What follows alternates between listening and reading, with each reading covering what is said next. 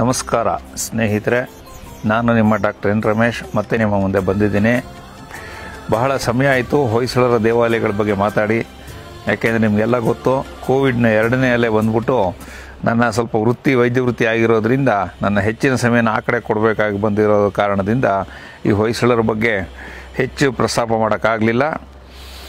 ನಿಮಗೆಲ್ಲ ಗೊತ್ತಿರೋಂಗೆ ಹೋದ ಸರ್ತಿ ನಾವು ಲೆವೆಂತಾಲ್ ಎಂಬತಕ್ಕಂಥ ಒಬ್ಬ ಧರ್ಮಗುರು, ಒಬ್ಬ ಕ್ರೈಸ್ತ ಧರ್ಮಗುರು ಅವರು ವೆಲ್ಲೂರಿನಲ್ಲಿರ್ತಕ್ಕಂಥವ್ರು ಹಳೆಬೀಡಿಗೆ ಬಂದು ಒಟ್ಟು ನಲವತ್ತೊಂದು ಹೊಯ್ಸಳರ ಕಾಲದ ಅಪೂರ್ವ ವಿಗ್ರಹಗಳನ್ನ ಮೂವತ್ತ್ನಾಲ್ಕು ಎತ್ತಿನ ಗಾಡಿನಲ್ಲಿ ಹಾಕ್ಕೊಂಡು ಅದನ್ನು ಹಾಸನಕ್ಕೆ ತಂದು ಹಾಸನಿಂದ ಅರಸೀಕೆರೆಗೆ ತೊಗೊಂಡು ಹೋಗಿ ಅರಸೀಕೆರೆಯಿಂದ ರೈಲಿನ ಮೂಲಕ ಮಡ್ರಾಸ್ ಇವತ್ತಿನ ಚೆನ್ನೈ ಅಲ್ಲಿಗೆ ತೊಗೊಂಡೋಗಿ, ಅಲ್ಲಿಂದ ಡೆನ್ಮಾರ್ಕಿಗೆ ತೊಗೊಂಡು ಹೋಗಿರ್ತಾರೆ national museum of Copenhagen ಅಂತ ಏನು ಹೇಳ್ತಾರೆ, ಅಲ್ಲಿ ತೊಗೊಂಡು ಹೋಗಿರ್ತಾರೆ ಇದ್ರ ಬಗ್ಗೆ ಸಾಕಷ್ಟು ವಿವರಣೆನ ನಾನು ಹಿಂದಿನ ವಿಡಿಯೋದಲ್ಲಿ ಹೇಳಿದ್ದೆ. ಒಟ್ಟು ಹಳೇಬೀಡು, ಸಿದ್ದಾಪುರ ಬೇಲೂರು ಆಮೇಲೆ ಹೆರಗು, ಹೀಗೆ ಈ ಕಡೆ ಈಗ ಅನೇಕ ಮತ್ತು ಕೋರವಂಗಲ. ಇಷ್ಟು ದೇವಾಲಯಗಳಿಂದನೂ ಕೂಡ ವಿಗ್ರಹಗಳನ್ನ ಅವಾಗ ಸಾವಿರದ ಎಂಟುನೂರ ತೊಂಬತ್ತೈದನೇ ಇಸ್ವಿಯಿಂದ ಸಾವಿರದ ಒಂಬೈನೂರ ಐದನೇ ಇಸ್ವಿ ಮಧ್ಯದಲ್ಲಿ ಇದನ್ನು ತೊಗೊಂಡು ಹೋಗಿದ್ರು. ಸೊ ಹೋದ ಸರ್ತಿ ನಾನು ಹೇಳಿದ್ದೆ, ಹರಿಹರಪುರ ಮತ್ತು ಹಿರೇಕಡ್ಲೂರಿನಲ್ಲಿ ತಗೊಂಡು ಹೋಗಿರ್ತಕ್ಕಂಥ ದೇವಾಲಯಗಳ ಬಗ್ಗೆ ನಾನು ವಿವರವಾಗಿ ತಿಳಿಸಿದ್ದೆ. ಈ ಸರ್ತಿ ಹಳೆಬೀಡಿನಿಂದ ಅವರು ಯಾವ್ಯಾವ ವಿಗ್ರಹಗಳನ್ನ ತೊಗೊಂಡು ಹೋದ್ರೋ, ಆ ವಿಗ್ರಹಗಳ ಬಗ್ಗೆ ವಿವರವಾಗಿ ತಿಳಿಸ್ತೀನಿ. ಬನ್ನಿ. ಸ್ನೇಹಿತರೆ, ಎಂ ಗೋವಿಂದ ಪೈ ಅಂತ, ಮಂಜೇಶ್ವರ ಗೋವಿಂದ ಪೈ ಅಂತ ಕರ್ನಾಟಕದ ಮೊದಲ ರಾಷ್ಟ್ರ ಕವಿ ಅವರು ಕನ್ನಡ ನಾಡು ಮತ್ತು ಕನ್ನಡ ತಾಯಿಯ ಬಗ್ಗೆ ಒಂದು ಹಾಡು ರಚಿಸಿದ್ದಾರೆ. ನೀವೆಲ್ಲರೂ ಕೇಳಿದ್ದೀರಿ ಅದನ್ನು? ಅದು ಯಾವುದಪ್ಪ ಅಂತಂದರೆ, ತಾಯಿ ಬಾರ ಮೊಗವ ತೋರ ಕನ್ನಡಿಗರ ಮಾತೆಯೇ ಕನ್ನಡಿಗರ ಮಾತೆಯೇ. ನೀವೆಲ್ಲ ಕೇಳಿದ್ದೀರಲ್ವಾ? ಹಾಡಲ್ಲಿ ಒಂದು ಪದ್ಯ ಬರುತ್ತೆ, ಒಂದು ಸ್ಟಾನ್ಸ ಬರುತ್ತೆ. ಅದು ಯಾವುದು ಅಂತಂದರೆ, ಹಳೆಯ ಬೀಡ ನಾಡ ಮಾಡಮೆನಿತ ಸುಂದರಂ, ಬಿಳಿಯ ಕೊಳದ ಕಾರ ಕಳದ ನಿಡುಕರೆನಿತ ಬಂಧುರಂ. ಇಲ್ಲಿಲ್ಲದ ಶಿಲ್ಪಮಿಲ್ಲ ನಿನ್ನ, ಇಲ್ಲಿಲ್ಲದ ಶಿಲ್ಪಮಿಲ್ಲ ನಿನ್ನ ಕಲೆ ನುಡಿಯುವುದೆಲ್ಲ. ಅಂತ ಕರ್ನಾಟಕದ ಮೊದಲ ರಾಷ್ಟ್ರಕವಿ ಅವರ ಪದ್ಯದಲ್ಲಿ ಹಳೆ ಬೀಡಿನಲ್ಲಿ ಇರ್ತಕ್ಕಂಥ ಶಿಲ್ಪಗಳು ಇಲ್ಲಿ ಇರದೇ ಇರ್ತಕ್ಕಂಥ ಶಿಲ್ಪಗಳೇ ಇಲ್ಲ ಅಂತ ಬರೆದಿದ್ದಾರೆ. ಅಂಥ ಹಳೆ ಬೀಡಿನ ರಾಜ್ಯದ, ಅಂಥ ಹಳೆ ಬೀಡು ಅಂದರೆ ಅಂದಿನ ದ್ವಾರ ಸಮುದ್ರ ಅಲ್ಲಿಂದ ಲೆವಂತಾಲ್ ಅವರು ತೆಗೆದುಕೊಂಡಿರ್ತಕ್ಕಂಥ ಅಪೂರ್ವವಾದ ವಿಗ್ರಹಗಳು, ನಾವು ಎಷ್ಟು ಕಳ್ಕೊಂಡಿದ್ದೀವಿ ಅನ್ನೋದನ್ನು ನಿಮಗೆ ಗೊತ್ತಾಗುತ್ತಾ? ನನಗೆ ಒಂದೊಂದಾಗಿ ತೋರಿಸ್ತೀನಿ. ಬನ್ನಿ. ಸ್ನೇಹಿತರೆ, ನಾನು ಹೋದ ಸರ್ತಿನೂ ನಿಮಗೆ ತಿಳಿಸಿದ್ದೆ ಆ ಲೆವೆಂತಾಲು ಚೆನ್ನಾಗಿರೋ ದೇವಾಲಯಗಳಿಂದ ಯಾವುದೂ ತೊಗೊಂಡು ಹೋಗ್ತಾ ಇರಲಿಲ್ಲ. ಪಾಳು ಬಿದ್ದ ದೇವಾಲಯಗಳು, ಎಲ್ಲಿ ಅದು ನಶಿಸಿ ಹೋಗ್ತಿತ್ತು ಅಂಥ ದೇವಾಲಯಗಳಿಂದ ಅತ್ಯುತ್ತಮವಾಗಿರ್ತಕ್ಕಂಥ ಕಲಾಕೃತಿಗಳನ್ನ ತೊಗೊಂಡೋದ್ರು ಹಾಗೆ ಅವ್ರು ಹಳೆಬೀಡಿಗೆ ಹೋದಾಗ ಹಳೆಬೀಡು ಅಂದರೆ ನಮಗೆ ಗೊತ್ತಾಗೋದು ಹೊಯ್ಸಳೇಶ್ವರ ದೇವಾಲಯ. ಆದರೆ ಅಲ್ಲಿಂದ ತೊಗೊಂಡು ಹೋಗಲಿಲ್ಲ. ಅದ್ರ ಪಕ್ಕದಲ್ಲಿ ಒಂದು ಕೇದಾರೇಶ್ವರ ದೇವಾಲಯ ಅಂತ ಇದೆ. ನೋಡಿ, ನೀವು ನೋಡ್ತಾ ಇದ್ರಲ್ಲ, ಇದೇ ಕೇದಾರೇಶ್ವರ ದೇವಾಲಯ. ಇದು ಎಲ್ಲಿದೆ ಅಂದರೆ ಅಲ್ಲಿಂದ ಪಕ್ಕದಲ್ಲೇ ಒಂದು ಮೂರು ಕಿಲೋಮೀಟ್ರು. ಆ ಊರಿನ ಹೆಸರು ಬಸ್ತಿಹಳ್ಳಿ ಅಂತ. ಆ ಬಸ್ತಿಹಳ್ಳಿನಲ್ಲಿ ಒಟ್ಟು ಮೂರು ಬಸ್ತಿಗಳಿದೆ ಮತ್ತೊಂದು ಈ ಕೇದಾರೇಶ್ವರ ದೇವಾಲಯ ಅಂತಿದೆ. ಆದರೆ ನೋಡಿ, ಈ ದೇವಾಲಯ ಇದು ರಿನೋವೇಟ್ ಆಗಿರೋದು. ಸಾವಿರದ ಎಂಟುನೂರ ತೊಂಬತ್ತೈದನೇ ಇಸ್ವಿನಲ್ಲಿ ಪ್ರಾರಂಭವಾದ ರಿನೋವೇಷನು ಹತ್ತು ವರ್ಷದ ನಂತರ ರಿನೋವೇಟ್ ಆಗಿ ಈಗಿನ ಸ್ವರೂಪಕ್ಕೆ ಬಂದಿದೆ. ಇದಕ್ಕೆ ಮುಂಚೆ ಇದ್ರ ರೂಪ ನೋಡಿ ಈ ಥರ ಇತ್ತು. ಮಹಮ್ಮದ್ ಗಜ್ನಿ ಮತ್ತು ಮಲ್ಲಿಕಾಫರ್ ಅವರ ದಾಳಿಗಳಿಂದ ನಲುಗಿ ಹೋಗಿ ಕುಸಿದ ಈ ದೇವಾಲಯನ ಅಂದಿನ ಲೋಕೋಪಯೋಗಿ ಇಲಾಖೆ, ಫರ್ಗರ್ಸನ್ನು ಮತ್ತು ಅವತ್ತು ನಮ್ಮ ರಾಜ್ಯದ ಕರ್ನಾಟಕದ ಆರ್ಕಿಯಾಲಜಿ ಡಿಪಾರ್ಟ್ಮೆಂಟ್ ಮುಖ್ಯಸ್ಥರಾಗಿರ್ತಕ್ಕಂಥ ಬಿ ಎಲ್ ರೈಸ್ ಇವರುಗಳ ಪ್ರಯತ್ನದಿಂದಾಗಿ ಆ ದೇವಾಲಯನ ಜೀರ್ಣೋದ್ಧಾರ ಮಾಡಿ ಮತ್ತೆ ಹಾಗೆ ಉಳಿಸಿದ್ರು. ಈ ಕೇದಾರೇಶ್ವರ ದೇವಾಲಯದಿಂದ ಅನೇಕ ಕಲಾಕೃತಿಗಳನ್ನ ಈ ಲೆವೆಂತಲ್ಲಿ ತೊಗೊಂಡೋದ್ರು ಇಲ್ಲಿ ಮತ್ತೊಂದು ಬಹಳ ಸೋಜಿಗವಾದ ವಿಚಾರ ಇದೆ. ಬಿ ಎಲ್ ರೈಸ್ ಅಂತ ನಾನು ಹೇಳಿದ್ದೆ, ಬೆಂಜಮಿನ್ ಲೆವಿಸ್ ರೈಸ್ ಅಂತ. ಇವರು ಕರ್ನಾಟಕದಲ್ಲಿ ಒಟ್ಟು ಎಂಟು ಸಾವಿರಕ್ಕಿಂತ ಹೆಚ್ಚು ಶಾಸನಗಳನ್ನ ಡಿಕೋಡ್ ಮಾಡಿದ್ರು ಅಂತ ತಿಳಿಸಿದೆ. ಅವರು ಆರ್ಕಿಯಾಲಜಿ ಡಿಪಾರ್ಟ್ಮೆಂಟ್ನ ಮುಖ್ಯಸ್ಥರು ಕೂಡ ಆಗಿರ್ತಾರೆ. ಈ ಲೆವೆಂತಲ್ಲಿ ಏನು ಮಾಡ್ತಾರೆ ಅವ್ರನ್ನ ಹೋಗಿ ಭೇಟಿ ಮಾಡ್ತಾರೆ. ಯಾಕೆಂದರೆ ಲೆವೆಂತಾಲು ಡೆನ್ಮಾರ್ಕ್ನವರು, ಅವರು ಯುರೋಪ್ನವರೇ. ಬಿ ಎಲ್ ರೈಸು ಇಂಗ್ಲೆಂಡ್ನವರು, ಅವರು ಯುರೋಪ್ನವರೇ ಅಲ್ವಾ? ನನಗೀಗ ಕಲಾಕೃತಿಗಳು ಬೇಕು, ನಮ್ಮ ಮ್ಯೂಸಿಯಮಲ್ಲಿ ಇಡ್ತೀವಿ ದಯವಿಟ್ಟು ಕೊಡಿ ನಮಗೆ ಅಂತ ಕೇಳಿದಾಗ ಬಿ ಎಲ್ ರೈಸವ್ರು ಹೇಳ್ತಾರೆ, ಅದೆಲ್ಲ ಕೊಡೋಕ್ಕಾಗೋದಿಲ್ಲ ಕಣ, ಹೋಗಪ್ಪ ಅಂತಾರೆ. ನೋಡಿ ಇಬ್ಬರೂ ಯುರೋಪಿಯನ್ಸೇ ಒಬ್ಬರು ನಮ್ಮಲ್ಲಿ ಇರ್ತಕ್ಕಂಥ ಅಪೂರ್ವ ಕಲಾಕೃತಿಗಳನ್ನ ಕಾಪಾಡ್ತಾರೆ ಇನ್ನೊಬ್ಬರು ಅದೇ ಕಲಾಕೃತಿನ ತಮ್ಮ ದೇಶಕ್ಕೆ ತೊಗೊಂಡು ಹೋಗ್ತಾರೆ. ಹೊಯ್ಸಳರ ಕಾಲದ ಒಟ್ಟು ಎಷ್ಟು ದೇವಾಲಯಗಳಿದ್ದವು ಅಂದರೆ ಖಚಿತವಾಗಿ ಇವತ್ತು ಹೇಳೋಕ್ಕಾಗಿಲ್ಲ. ಅನೇಕ ದೇವಾಲಯಗಳು ಕಾಲಘಟ್ಟದಲ್ಲಿ ಕೊಚ್ಚಿ ಹೋಗಿದೆ. ಅದಕ್ಕೆ ಬಿ ಎಲ್ ಶೆಟ್ಟವರು ಮತ್ತೊಂದು ದೇವಾಲಯನ ಗುರುತಿಸಿದರೆ ಅದೇ ಬಸ್ತಿಹಳ್ಳಿನಲ್ಲಿ ಮತ್ತೊಂದು ಕೃಷ್ಣನ ದೇವಾಲಯ ಇತ್ತು. ತುಂಬ ಸುಂದರವಾಗಿದ್ದಂಥ ದೇವಾಲಯ ಅದು. ಆದರೆ ಆ ದೇವಾಲಯ ಬಹುಶಃ ಅಂದಿನ ಕಾಲದ ಮತಾಂಧರರ ಹೊಡೆತಕ್ಕೆ ನಾಶ ಆಗಿರ್ಬೋದು ಅಥವಾ ಕಾಲನ ಹೊಡೆತಕ್ಕೆ ನಾಶ ಆಗಿರ್ಬೋದು.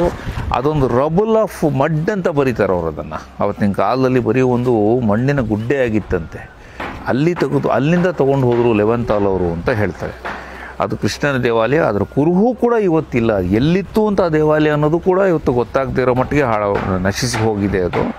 ಆ ದೇವಾಲಯದ ಅನೇಕ ಕೆತ್ತನೆಗಳನ್ನ ಈ ಕೇದಾರೇಶ್ವರ ದೇವಾಲಯನ ಪುನರುದ್ಧಾರ ಮಾಡಿದ್ರಲ್ಲ, ಅಲ್ಲೂ ಉಪಯೋಗಿಸಿದ್ರು ಅಂತ ಹೇಳ್ತಾರೆ. ಆ ಒಂದು ಕೃಷ್ಣನ ದೇವಾಲಯದಿಂದ ಈ ವೇಣುಗೋಪಾಲ ಮತ್ತು ಕಾಳಿಂಗ ಮರ್ದನ ಕೆತ್ತನೆಯನ್ನು ತೆಗೆದುಕೊಂಡು ಹೋಗಿದ್ದಾರೆ. ಇದು ವೇಣುಗೋಪಾಲನ ಕೆತ್ತನೆ. ತುಂಬ ಸುಂದರವಾಗಿರ್ತಕ್ಕಂಥ ಒಂದು ಕೆತ್ತನೆ. ತನ್ನ ಬಲಗಾಲನ್ನು ಮಡಿಸ್ಕೊಂಡು ಕೊಳಲನ್ನು ನುಡಿಸ್ತಾ ಇರ್ತಕ್ಕಂಥದ್ದು. ಆ ಕೊಳಲು ಕೂಡ ಅಲಂಕಾರನ ಮಾಡಿದ್ದಾನೆ ಶಿಲ್ಪಿ. ಆಮೇಲೆ ಮತ್ತು ಆ ಕಡೆ ಈ ಕಡೆ ಕರೆಸ್ಪಾಂಡಿಂಗ್ ಆಗಿ ಡ್ಯಾನ್ಸರ್ಸ್ಗಳು ಉನ್ಮಾದರಾಗಿ ಡ್ಯಾನ್ಸ್ ಮಾಡ್ತಿರ್ತಕ್ಕಂಥದ್ದು. ಅಲ್ಲಿ ಪಕ್ಕದಲ್ಲಿರ್ತಕ್ಕಂಥ ಗೋಗಳನ್ನ ಕೆತ್ತನೆಗಳನ್ನ ಕೂಡ ನಾವಿಲ್ಲಿ ನೋಡ್ಬೋದು. ಇದು ಕಾಳಿಂಗ ಮರ್ದನ ಕೆತ್ತನೆ. ಕೃಷ್ಣ ಕಾಳಿಂಗ ಮರ್ದನ ಮಾಡಿ ಅದರ ಹೆಡೆ ಮೇಲೆ ಅದ್ರ ನಿಂತ್ಕೊಂಡು ಡ್ಯಾನ್ಸ್ ಮಾಡ್ತಾ ಮತ್ತು ಅದರ ಬಾಲನ ಕೈಯಲ್ಲಿ ಹಿಡ್ಕೊಂಡಿರೋದು. ಅಕ್ಕಪಕ್ಕದಲ್ಲಿ ನಾಗಣಿಯರು ಅವನ ಕೈ ಮುಗಿದು ಅವನ ದಯ ಭಿಕ್ಷೆನ ಕೇಳ್ತಾ ಇರ್ತಕ್ಕಂಥ ಚಿತ್ರನ ಕೆತ್ತಿದ್ದಾನೆ. ಮತ್ತು ಇದು ಪೂರ್ಣ ಲಿಂಟಲ್ನ ನೀವು ಪೂರ್ತಿ ಗಮನಿಸಿದ್ರೆ ಆ ಕಡೆ ಮತ್ತು ಈ ಕಡೆ ಗೋಪಾಲರು ಅಂದರೆ ಶ್ರೀಕೃಷ್ಣನ ಫಾಲೋವರ್ಗಳು ಸಂತೋಷದಿಂದ ಡ್ಯಾನ್ಸ್ ಮಾಡ್ತಿರ್ತಕ್ಕಂಥ ಒಂದು ಸೆಲೆಬ್ರೇಷನ್ ಮಾಡ್ತಿರ್ತಕ್ಕಂಥ ಯತ್ನ ನಾವಿಲ್ಲಿ ಇದು ಗ್ರೂಪ್ ಆಫ್ ಡ್ಯಾನ್ಸರ್ಸ್ ಅಂತ. ನೋಡಿ ಈ ಪ್ಯಾನಲನ್ನು ನಾವು ಸೂಕ್ಷ್ಮವಾಗಿ ಗಮನಿಸಿದ್ರೆ ಗೊತ್ತಾಗುತ್ತೆ, ಇಲ್ಲಿ ಒಂದು ನೃತ್ಯಗಾರ್ತಿ ತನ್ಮೇಲಾಗಿ ನೃತ್ಯ ಮಾಡ್ತಿರ್ತಕ್ಕಂಥ ಅವಳ ಮುಖದಲ್ಲಿ ಭಾವನೆಗಳು ನೋಡಿ ತನ್ನನ್ನೇ ತಾನು ಸಂಪೂರ್ಣವಾಗಿ ಈ ಒಂದು ಬರ್ತಕ್ಕಂಥ ಶಬ್ದಗಳಿಗೆ ತನ್ನ ತಾನು ಅರ್ಪಿಸ್ಕೊಂಡಿದ್ದಾಳೆ.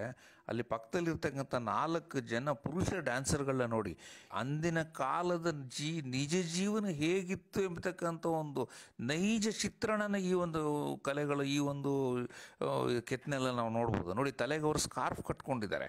ಡ್ರಮ್ಮನ್ನು ಒಬ್ಬರು ಹೆಗಲಿಗೆ ನೇತಾಕೊಂಡಿದ್ದಾರೆ, ಅಥವಾ ಸೊಂಟಕ್ಕೆ ಕಟ್ಕೊಂಡಿದ್ದಾರೆ. ಅವರು ಕೈಗಳಿಗೆ ಬಳೆಗಳನ್ನ ತೊಟ್ಕೊಂಡಿದ್ದಾರೆ.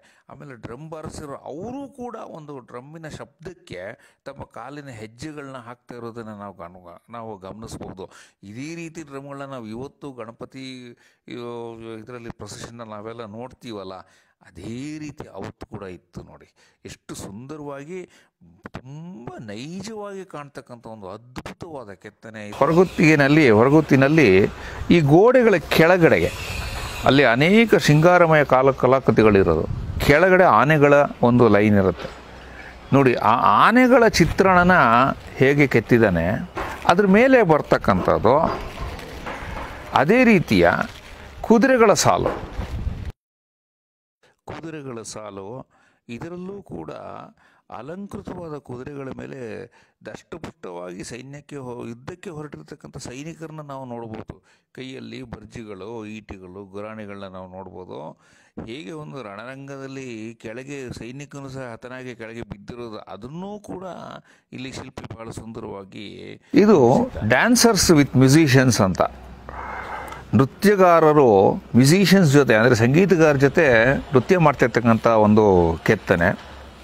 ಬಹುಶಃ ಇದು ಹಳೇಬಿಂಡ ಪಂಚಲಿಂಗೇಶ್ವರ ದೇವಾಲಯದಿಂದ ತಗೊಂಡೋಗಿರಬೇಕು ಅಂತ ಶೆಟ್ಟರ್ ಅವರು ಅಭಿಪ್ರಾಯಪಟ್ಟಿದ್ದಾರೆ.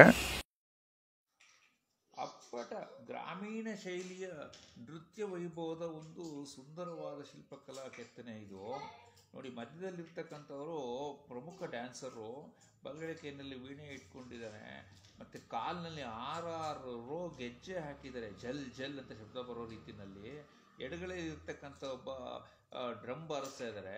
ಮತ್ತು ಬಲಗಡೆ ಇರ್ತಾರವರು ಕೈನಲ್ಲಿ ಇದು ಕೊಳಲನ್ನ ನುಡಿಸ್ತಾ ಇರ್ತಿರ್ತಾರೆ. ಇದು ಒಂದು ಈ ದೃಶ್ಯನ ನೀವು ಊಹಿಸ್ಕೋಬಹುದು. ಅಂದಿನ ಕಾಲದ ಜೀವನ ಶೈಲಿನಲ್ಲಿ, ಸಾಮಾಜಿಕ ಜೀವನದಲ್ಲಿ, ಅದು ಗ್ರಾಮೀಣ ಪ್ರದೇಶದಲ್ಲಿ ಯಾವ ರೀತಿ ಜೀವನ ಶೈಲಿ ಇತ್ತು ಎಂಬತಕ್ಕಂಥ ಒಂದು ನಾವು ಕಲ್ಪನೆನ ಕೂಡ ನಾವು ಮಾಡ್ಕೋಬಹುದು. ಅಷ್ಟು ಚೆನ್ನಾಗಿ ಶಿಲ್ಪಿ ಈ ಕೆತ್ತನೆ ಇದೊಂದು ನೋಡಿ, ನೋಡ್ತಾ ಇದ್ದೀರಲ್ಲ?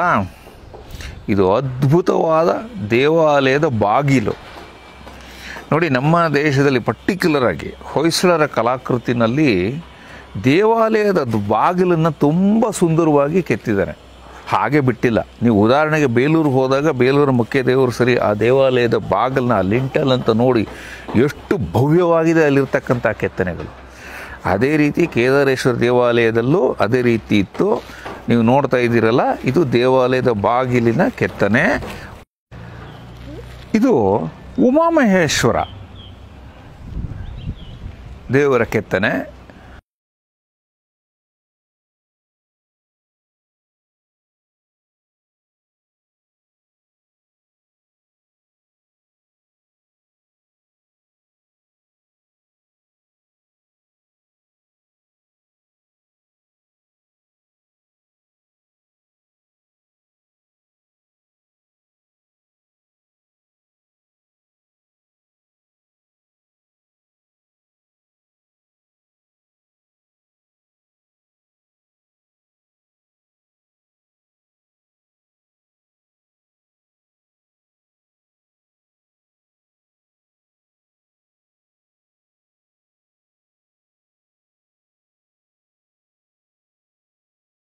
ಅಲ್ಲ ಸ್ನೇಹಿತರೆ, ಹಳೆ ಬೀಡು, ಪಾಳು ಬೀಡು ದ್ವಾರ ಸಮುದ್ರ ಮೊದಲು ದ್ವಾರ ಸಮುದ್ರ ಆಗಿತ್ತು, ಆಮೇಲೆ ಪಾಳು ಬೀಡಾಯಿತು, ಆಮೇಲೆ ಅದು ಹಳೆ ಬೀಡಾಯಿತು.